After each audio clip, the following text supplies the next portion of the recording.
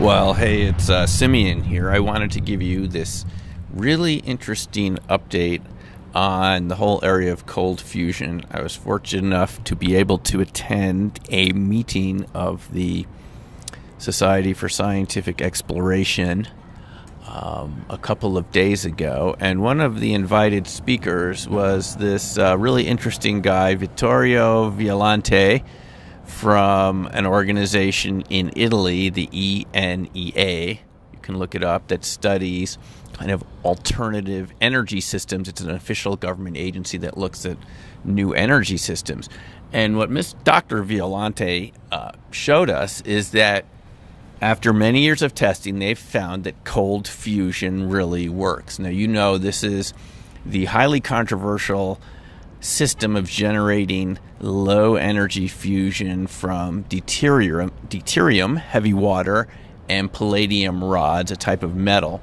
And what, well, it was first discovered, you know, many years ago, and then most recently it made headlines in uh, 1989 when Fleischmann and Pons at the uh, University of Utah made headlines by saying they'd rediscovered cold fusion and they received a lot of criticism because instead of submitting it for peer review, the University of Utah wanted to go right away to a press conference uh, because they thought the findings were so significant.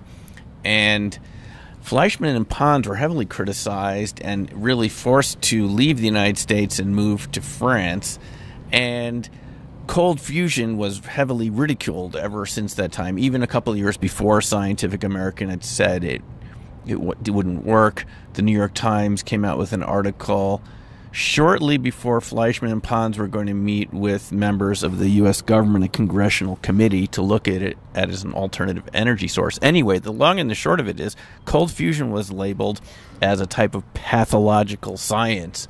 Some people called it junk science and everyone said it was a kind of you know kind of fraudulent or pseudoscience and that it wouldn't work.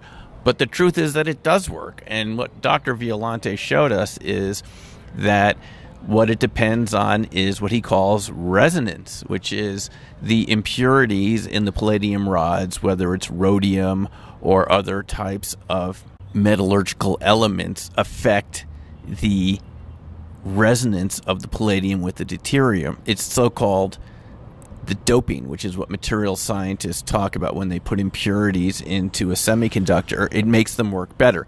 In any case, the crystalline shape of the impurities in the palladium rods affects whether it works or not. And Violante showed us many slides over and over again where they get a higher level of heat and energy output than you would expect from a chemical reaction. In some cases, much, much higher.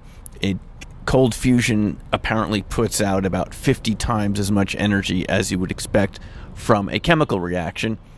It works apparently by creating a fusion reaction between the uh, subatomic particles from the palladium with the deuterium, and when they fuse, they release energy. Now, Violante told me when I talked to him later on that he's a hot fusion guy, as he put it. He is from hot fusion research. Now, hot fusion is something that our own government has put billions of dollars into, as many as well as other governments, to try to simulate conditions on the sun as maybe an alternative source of energy, a fusion reaction instead of fission, you know, which is our nuclear reactors use fission and release radioactivity and all sorts of issues associated with that, disposing of the waste. But fusion is supposed to be a lot cleaner with no waste products that are radioactive. But they've only got hot fusion as of this video to work for about a trillionth of a second a couple months ago, which isn't very long. But this cold fusion reaction keeps going. And so we now know that um, cold fusion really works. I think this guy is a real authoritative source on it, especially since he comes from hot fusion. Now, many of us suspected that the reason why MIT and the patent office said it wouldn't work is because those guys are heavily invested in hot fusion. Maybe it was their own vested interests. But in any case, um, forget everything you heard about being junk science and pathological science. 60 Minutes, to their credit, was pretty close in their 2009 show, you know, the weekly show, 60 Minutes, revealed to us that many companies are still studying cold fusion. The U.S. Navy's always been interested in it, and many companies in Israel have been studying it and getting these anomalous results. And now we know that these anomalies are due.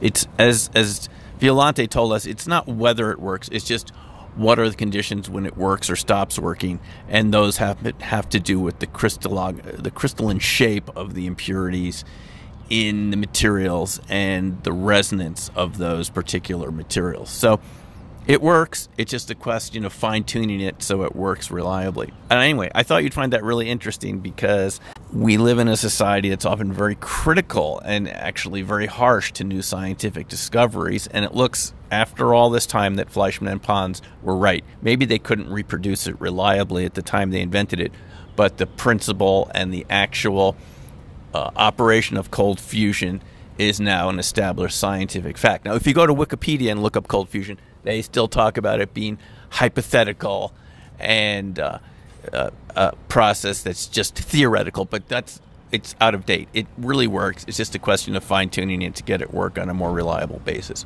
Okay, I thought you'd enjoy that, and we'll talk to you soon. Take care for now. Bye.